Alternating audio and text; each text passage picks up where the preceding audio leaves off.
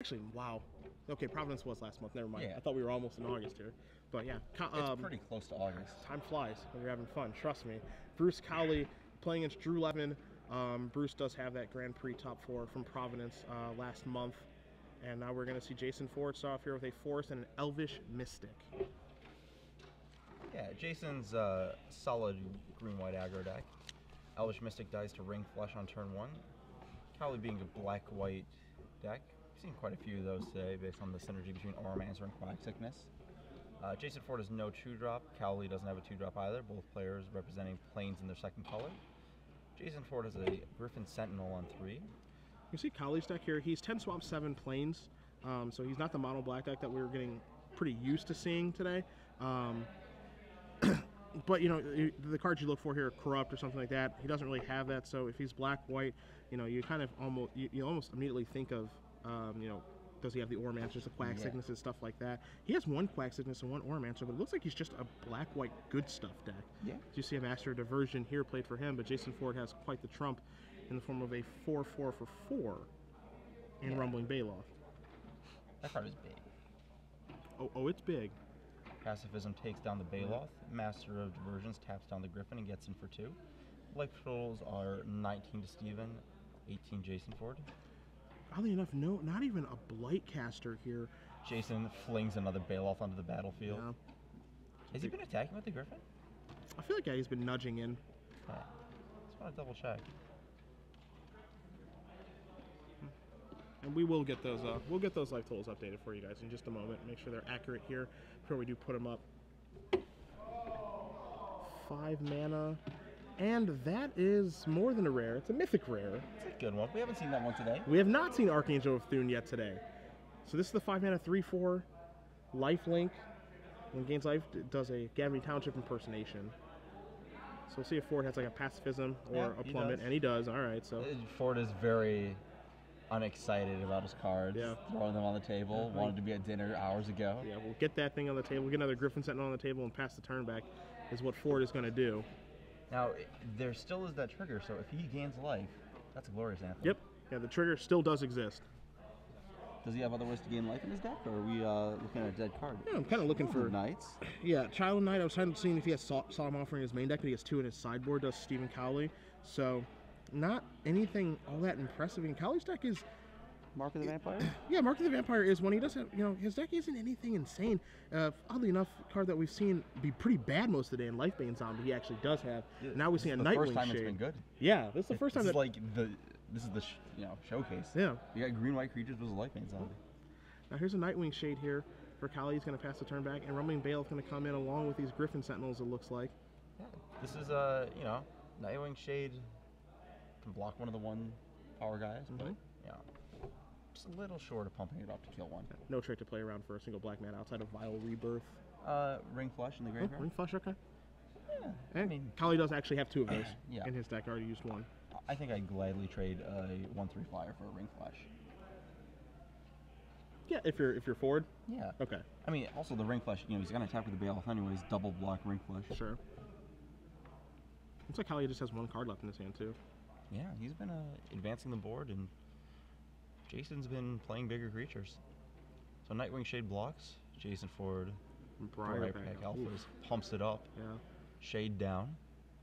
So this is a this is a really nice draw here for Cowley Ford. down to 13. Yeah, it's two four four four. You know, this was the key we were saying to the green decks. This is how you're supposed to win. Yep. So Cowley's gonna draw a card. He draws a Show of Valor. He's got Normancer in his hand. Also, it looks like he has a Corpse Hauler right now Yep. as well. And as good as Corpse Hauler has been over the course of the day, it cannot return a pacified creature. Nope. And now he's a little under the gun and has to, you know, maybe not have the time to, of course, uh, haul back anything relevant in time to Yeah. stabilize. You know, Nightwing Shade is a card we've been talking about all day, but if you're being pressured this fast, this is why it wasn't the best the first time. Mm-hmm. Just kind of fell underneath the things that were attacking into it on turn five or six and Yeah. Needed something bigger to stabilize. Again, can't forget it, it is a five minute two two. Yeah. Yeah, you know, that- that's that's what it is. It, it, you know, if you get to untap with it, it's fantastic. But it is a five minute two two. Steve Cowley down to eight life already. Jason Ford at 18 with nine power active. Gotta be feeling pretty good if you're Ford right now. Yeah. Don't even know what the last like last card in his hand is either. So let's see. Cowley gonna tap three mana. So now there's Auramancer. Casting the turn, leaving up the Show of Valor. Lets his Auramancer take down the 4 4 on the attack. Jason Ford draws. draws his card.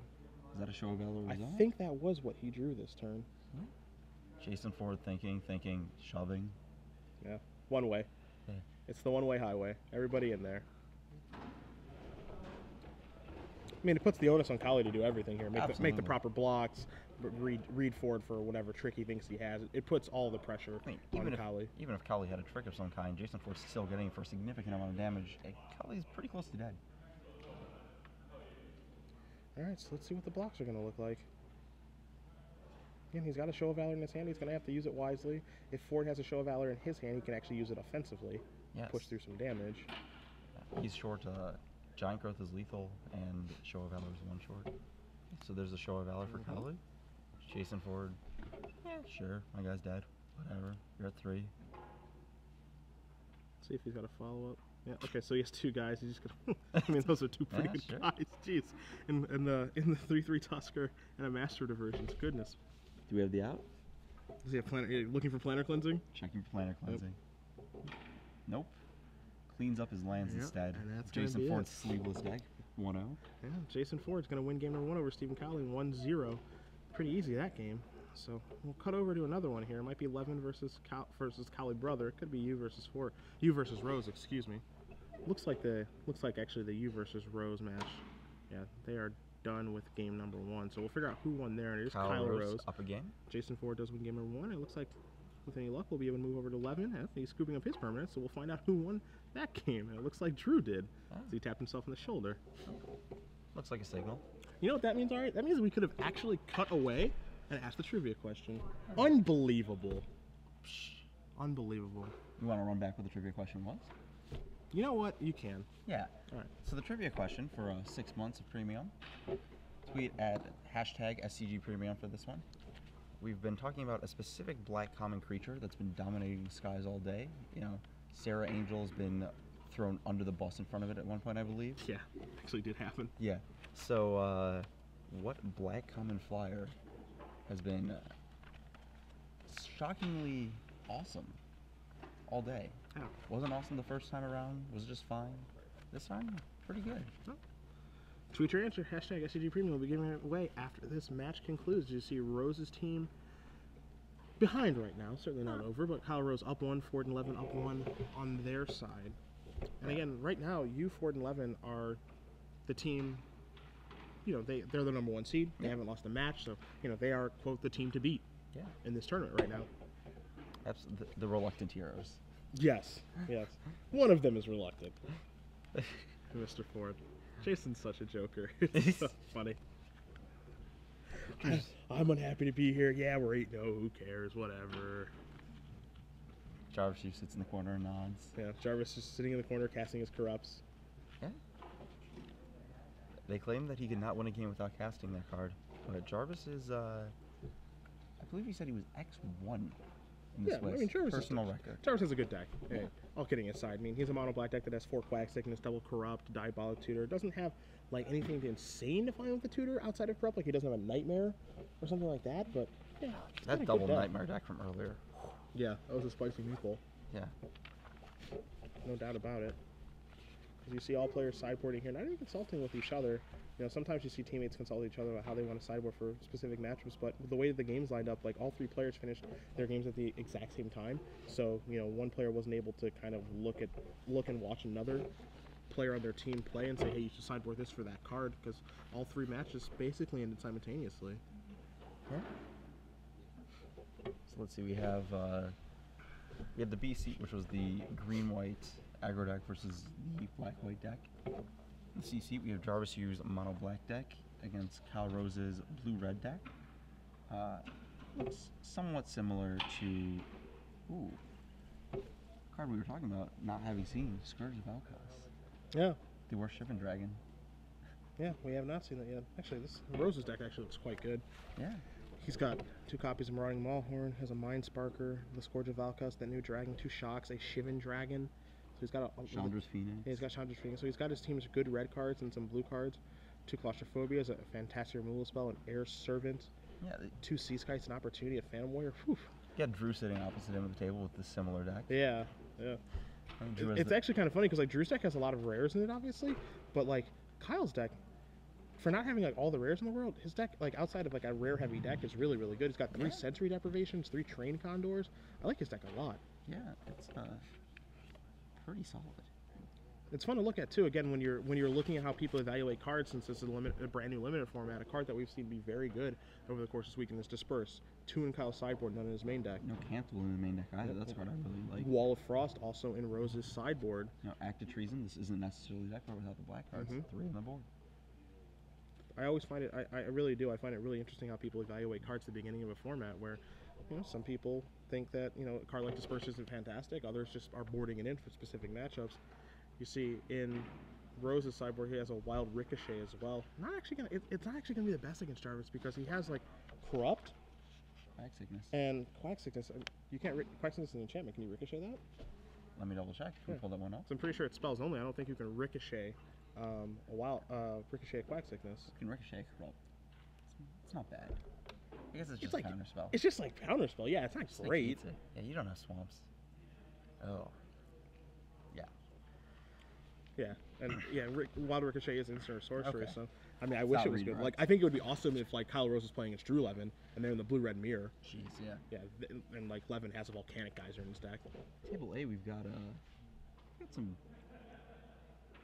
Naya going on over here. Looks Slivers. it's- slivers. Yep. Battle sliver, blur sliver. Uh, not that, not actually that heavy on slivers, but splashing for hive stirrings nonetheless. Okay. Um, against Drew Levin's blue red. I have all the rares, and I hope this is a good deck. Well, it has been good so far. I mean, you take a look at Bruce Cowley's deck. He's playing against Levin right now. He's got two volcanic geysers. He's got a molten birth, an ogre battle driver, um, two lay of the land for a splash of the hive stirrings. Uh, Mana with slivers also is going to help mitigate that splash. He has two root wall as a predatory sliver, so he's got some good cards here.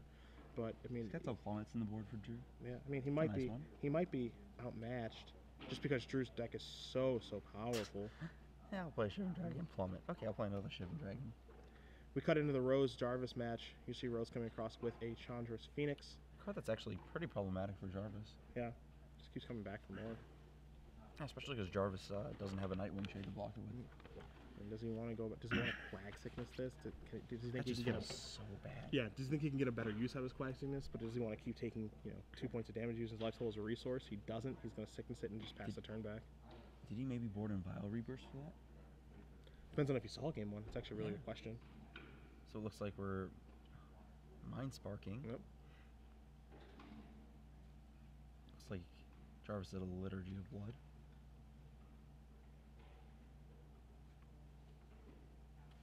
Probably just debating what follow-up play to it is. Yeah. Just get this three-two out of the way. Yeah, I think that win, I actually think that's worth killing too with Liturgy of Blood. You know, depending depending on what Jarvis's plan is, and he's gonna just play a Vampire Warlord and pass the turn back. So this is exposed to a card like Shock, which Rose has two copies of in his deck. Yeah. I mean, the fact that he didn't play earlier creatures implies that he doesn't have that many things to sacrifice. Mm-hmm. So it's you know possible. Yeah, he's just running out the four-two, hoping to race giant cockroach versus uh, three-two. Now there's an Air Servant. He draws this card. He draws a Swamp for the turn. You looking over his options? Definitely a better liturgy target than the. Uh, Yeah. I mean, they're actually both pretty good liturgy targets, honestly. so if you're Jarvis, you just shove with four-two first, see if he trades. I think he I think that's where you start. just- Yeah. I just can't imagine that, that Rose would ever block here. Yeah, I mean, but yeah, you might as well test him. yeah. Spot check. Yeah. So the interesting thing is that if Rose has something like an opportunity, making this attack, you know, if he makes a block, he definitely wants to make that block. Mm-hmm. Wow, he is going to block. He's going to trade Air Servant for the Vampire Warlord. Okay. And now Jarvis is going to follow that up with a Minotaur Abomination, so the 4 6 is in. I'm a little bit surprised to see Air Servant trade there. Depends on the contents of Rose's hand, Yeah. what he's trying to set up. Train Condor, Okay. first play for the turn, no follow-up play. Now Jarvis has the holding biggest Minotaur. back, Yep. Can't attack, of course, because due to the 4 6. which has to pass the turn back. Jarvis looking at his hand. Looks like he has Quag Sickness, Liturgy of Blood, and Corrupt were the cards that I think I've seen. Whew, all good ones. Stacked hand to go with this 4 6. Funny how that four six just holds down the fort. Really Yes. does. So big. There's your liturgy. Liturgy of Blood on 3 2. Does that resolve? Negate. Negate says no. Jarvis gonna probably send in with his 4 6. Not blocking next turn. No. In for four we go. Yeah. There's not really like a, a haste guy to punish you for that attack. Yeah. No lightning elementals. It's a card I miss. Yeah, it's a card you normally see in base sets. Jarvis, Yu dropping down. I got a 10 now. Yeah. Kyle Rose passing. Representing opportunity. So Yu draws his card for the turn. He's at 10, Rose at 16. And it's our Abomination, ready to give the beats. Yeah. You know. Four six, very respectable beatdowns. And he's just behind right now. I mean, currently he's on a, he's on a two-turn clock now. Of course, that means for that to work, he'd have to have nothing. And we know he has. He, we know he has more than nothing. He just figure out how he more wa- than We just have to figure out how he wants to use his cards right now.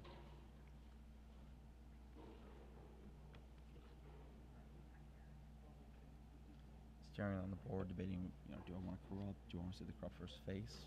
I like that line, personally. So Quag Sickness, the 3 2. Pre attacks. No counter spell. Interesting. I'm might have, uh, might have attacked first. Yeah? Yeah. Yeah. There's opportunity. Yeah. That's what we thought he might have. So three and four. Yeah. So let's see what Rose is going to add to his hand now. Opportunity is such a backbreaker. Yeah. Negate looks like it looks like negate was one of the cards that he drew off of that as well. So Really important. Other two in his deck? I want to see. Hey, two in his sideboard, board and both end. They're fantastic against Jarvis's deck. So Mhm. there's claustrophobia to take care of the four six. Minotaurs in the box. There's an island, two, three. Conveniently able to leave negate up. Plays a phantom warrior, passes the turn back. Jarvis down to 8 life. Yeah, two turn clock now. Things have really, really changed in this game. Where it looked like a game that you may have had in hand. And uh, you know the thing that really changed this game around too, I think, is that you know that trade with the air servant Yeah. looks really good now. Yeah, Yeah. especially you know, if Jarvis had liturgy there, the air servant would be down. Uh, I'm like, ooh, another Minotaur abomination. Like he would have gotten his liturgy in around a counter. Mm-hmm. That would have been pretty important. He tried to sneak through some damage in what looked like a situation where Rose wouldn't block, but he did. To be Sure. fair, the uh, Mind Sparker would stop that attack Sure, for a long time. sure. So, it's not 100% wrong. It's just like one of those things where it, you weren't sure why it happened, and now you know. Yeah. So Jarvis down to four. It's gonna fire off the corrupt and gonna get negated. That's gonna be the end of this. Yeah, I mean that looks like that's probably going to be the outcome. There's your corrupt, there's your negate, and that is Kyle Rose winning that match over Jarvis Yu, two games to zero. So it is on Jason Ford and Drew Levin if they want to move on. Impressive, impressive win there by Kyle Rose. Yeah. Very quick, very decisive against Jarvis Yu's uh, solid mono black deck. He definitely had a matchup advantage though. Yeah. He had all the good blue ones. Rose's deck, Rose's deck looks quite good. You Yeah. know, for not having rares, of course. Like his deck is quite powerful. Yes. For some reason I have a feeling that things might come down here to the Ford Cowley match again. We're going to move over to Levin and Cowley, but with how strong Levin's deck is, not to say Bruce Cowley can't win, but it sure is an uphill climb when you're playing against a deck that has that many rares. We cut over it, and see, yeah, That's a good you one. see Jace Memory Adept in play for Drew, along with a Wall of Frost and the Elemental token. Yeah, from a young pyromancer. hmm Jace on four counters, having just hit the battlefield. Uh, one, two, three, four, five, six, seven, eight, nine, ten, eleven. Jace on two turns to kill. Tick tock. Makes it one heck of a clock. Cowley, there's nothing really in green and red to beat a wall of frost. Like 07 is Yeah, it's huge. yes. It's huge against green. and even if he like has the pump spell or the burn spell and runs the root wall in, that root wall doesn't get to attack the next turn. It looks like he may have an enlarge in his hand right now. That would take out the Jace.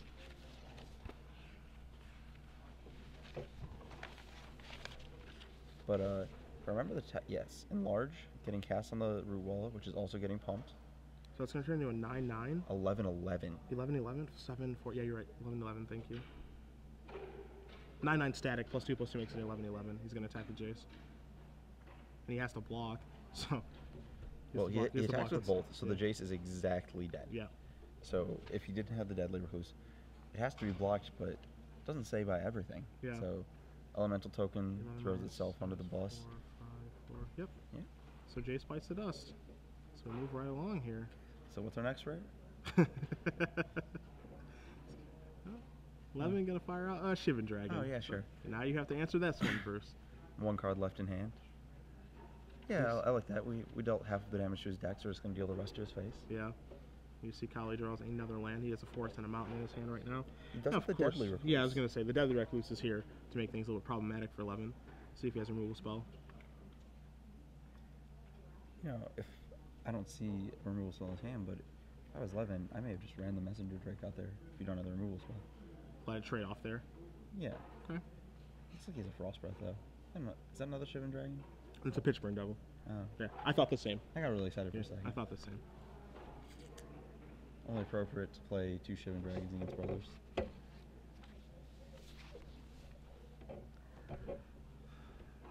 So, True going over his options.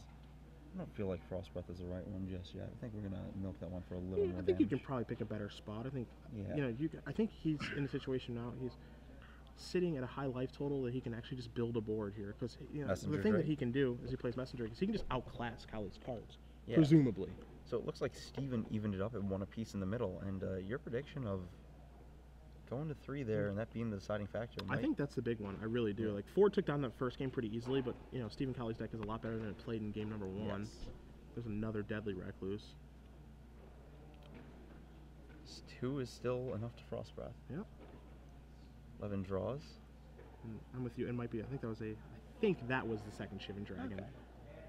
That would be a nice one. I think. Yeah, he's gonna pull the trigger on Frostbreath now. Take care of those flyers. And does the math line up perfectly for him? I think it's like close to perfect. It's over perfect. yeah, it's, it's over perfect. Yeah, It's 'cause 11 five, and six, seven, eight. Yeah, 11, 11. Yep. All of it. Fireball you. So it's gonna be eight from the dragon, three from the drake. Gonna push Cowley down to nine.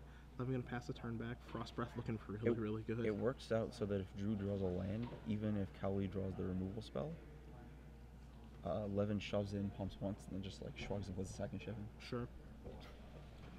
Two mana. That is And a weft mana sliver. sliver. Not quite.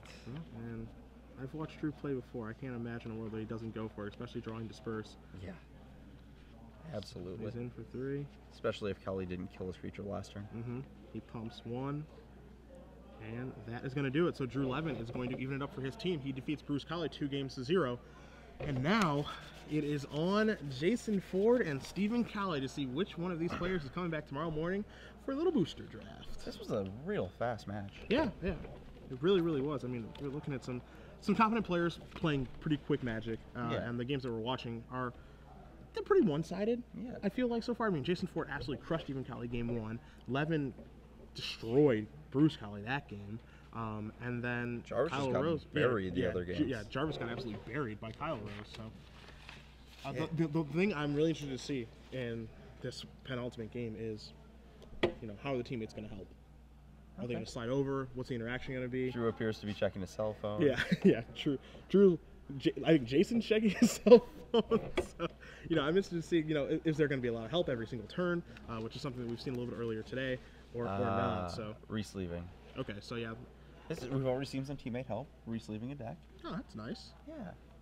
Kyle, the ham heater, helping out. Pretty nice of him. Uh, Bruce not helping his brother. No, No, no, never. no love lost. None. Maybe just unsleeve and battle Jason Ford on his own terms. Come down to Jason's level with the no sleeves? yeah, absolutely. Yeah, sure. Give it a shot. Why don't you? Absolutely. If you guys are just joining us, Cedric Phillips, Ari Lax here in the booth. Star City Games live open series has made it to Richmond, Virginia. And uh been a good day so far. Nine rounds of Swiss, 174 teams, over 500 players came out to hang out with us today. And we've whittled it down to four, and we've whittled it down Four to teams of Jason Ford's team. Yeah, It's Kyle Rose Cowley team. yeah. Yeah, back table was uh, Lloyd Kurth. Yeah, Pat Noden Walt against Murray, Visco, and Liao. As soon as we do have an update on the match, we'll certainly be bringing it to you. to Find out how those two teams are doing.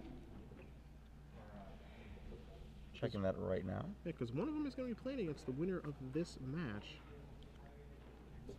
I don't know. I don't know who it favors. I mean, I, like Jason's deck is really, really good. Again, he does have three Briarpack alphas. He has a really strong green white deck, but Cowley's deck has all this synergy with the sliver cards and then some things outside of that. I believe that was uh, no, that was a black white deck. No, other Cowley. Oh, okay, my fault. My fault. Strike that, reverse it. Yeah. So uh, Yeah, you're right about Jason that. Jason also want to play this game, which is pretty important. Yeah. Stephen Kelly has the black white deck. I apologize for that misstep. He does have Lifebane Zombie, which is super good in this matchup. Also has, I mean, he's got some good cards. He's got Nightmare. He's got Senior Vampire. Um, two copies of Wring Flesh. He's got two Child of Night, two Corpse Hauler, stuff like that. So, as we do have a winner, and it is going to be Matthew Murray, along with David Visco and Albert Lau. They're going to be playing tomorrow, the three seed. Yeah. So, if Cowley, Cowley, and Rose win, Murray, Visco, and Lau will be on the play, or have the option to be on the play in the draft tomorrow. If Levin, Ford, and Yu win, Levin, Ford, and Yu will take that option. Yeah. Just looking at some decks here. Got a nearly mono blue deck over here in the Oh, that one. that is an actual dream. Yeah, it's got a Death Gaze, a Cockatrice, and a Liturgy of Blood. That's it. Don't need anything else. I played against a mono blue deck uh, at the gun, when I was gunslinging. Actually, Ruben Bressler ended up opening a mono blue deck in Two Headed Giant. Came against me, countered seven of my spells, Yeah. and cast opportunity. We saw one of those earlier. Yeah. That's real nice. Those are my. That's actually my. That's my favorite deck. I'm gonna try to draft it. We've got a green white beatdown deck with. We haven't seen Devout Invocation all day. I've just heard terrible stories about people losing to that card. I got to cast that card. Is it good? Yeah, it's pretty good. It's pretty good. Seraph of the Sword, another one we haven't seen. I got to cast that too. Oh. Is that one nice too? My gunslinging pre-release deck was pretty good. I can only imagine. Another Fire Shrieker, a card we've been kind of wondering about all day. But it, Yeah. it seems like it served its purpose. I am I, I'm really interested to see how that card's going to go in booster drafts, how many seal decks it's going to make, what effect it's going to have on the format. So this is an interesting one. We've got another black deck on this team. They opted to split the black to get the Liturgy of Blood into the blue deck. Okay. Blue deck needing some removal. And this is sort of your Act Active Treason style deck. Seen that deck a lot today. Yeah. A lot of sacrifice effects in the format. Active Yeah, treason acting as like a acting as a removal spell, kind of a burn spell as well. Yeah.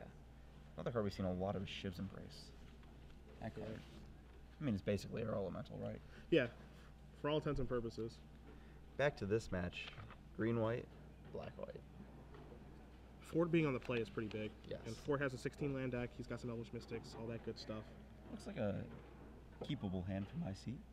Six and seven for Cowley. Got Quag Sickness as the last card he picked up. Ford's going to start off with Elvish Mystic, the Yeah. proxied one. Okay. This other one was damaged. You know how it wouldn't be damaged? If he played with sleeves, Jason. Well, it's going to be off the table very soon. Yeah. Its Wring Flesh, flesh. has been wrung. Same as game one. 16 land deck for Ford, too. So those Mystics are actually quite important for his deck. He does draw a Force for the turn, see if he has a Plains. He's just going to play Force and pass the turn back. Yep. No Kalonian Tusker. Cowley draws a plane for the turn, it looks like, so he's going to play a Swamp and just pass the turn back. So, Ford going to draw his card. He's going to play Master Diversions and pass the turn back. Cowley draws. There's a Plains. Lifebane Zombie. Oof. Jason Ford picks it up and reads it. Yeah, that one's worth reading. Cracks That a little one- smirk. That one is worth reading. Ugh, Oh. boy. Jason That's is not having a fun day right now. A 3 1 Intimidate, Yeah, exiled. gets yeah. That is a beating. Shove, tap your guy. Cowley dropping down to 18 from this Master's Actually like, version. it actually looks like four might be flooding. Pass the Yeah. turn back. He kept a reasonable four spell hand. Yeah, I mean, three that, spell hand. yeah, that, I mean that Briarpack Alpha was pretty integral to his game plan. That's what it looked like.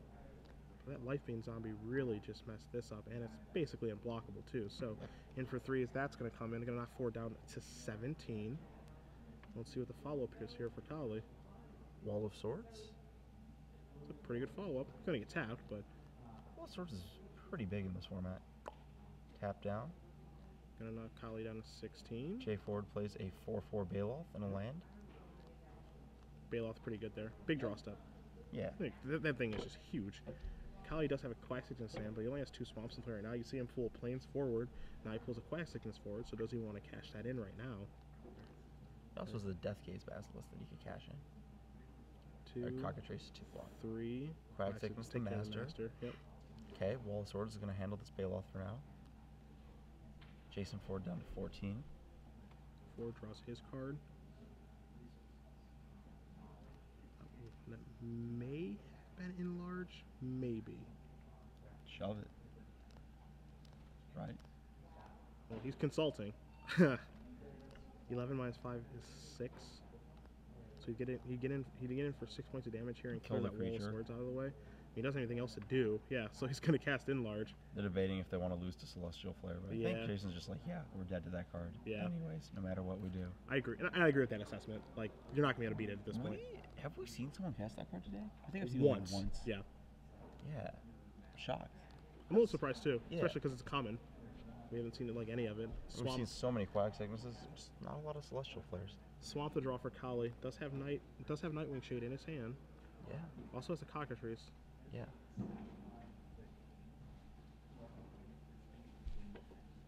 So enlarged did a nice job of clearing out the wall swords, but there are some much bigger problems in Ford's future. Jason's still on a clock from the zombie. Mm-hmm. Debating Sengir Vampire, too. Wow. Definitely some really nice a options. Yeah. It's a full grip. This is a good place to start though. Get in for three. Looks like, I think I'd play, I don't know what they've seen in Jason's deck, but I think you should play the Cockatrice. They They're gonna go with the cockatrice and keep representing a double white spell. Ford's gonna draw a card. Well, they now know that he doesn't have it. Mhm. But uh, the reason I play the Cockatrice is actually, um, I don't know if they've seen any of the Prey on the Weeks. Sure. Yeah. Yeah. Or Hunt the Weak. Yep. Yep. Hunt the Weak. Plus one, plus one. Kill a guy. Jason Ford. Drop pacifism. Pacifism. Okay. Still in this game. Runner, runner. Nothing funner. In four. Yeah. Gonna put Cowley down to six. Yeah. So, Play it plains. yeah. I mean, the Cockatrice trades if it fights, but if it gets pacified, I'm just going to hang out. Is Cowley gonna stop attacking with that life Lifebane zombie yet? No way. I, I, no. I mean, I, I can't find a good reason to. He's gonna come across for three. Yeah. Then knock four down to eight. He's not dead on board at all. Four. Looks Might like, the shade. guessing Sengir. Five. There's your fifth mana. There's your Sengir Vampire. All right. representing the trick that we clearly don't have. Jason Ford draws. Does he want to fight? He looks happy. Battle you. Yeah, can't block fast enough. There's your uh-huh. trade. And that's a pass to turn back. Oh, But he, he- has to trade with Senua there. Absolutely. And Cowley draws a Doom Blade for the turn, and that might seal this one for for Cowley's team.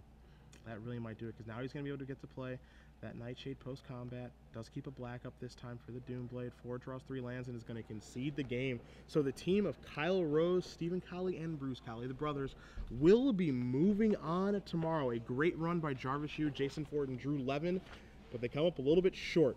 The four seed, Rose Cowley and Cowley will be moving on tomorrow to face Murray, Visco, and Liao. Four versus three, so Murray, Visco, and Liao will be on the play tomorrow. All of the matches. Yes.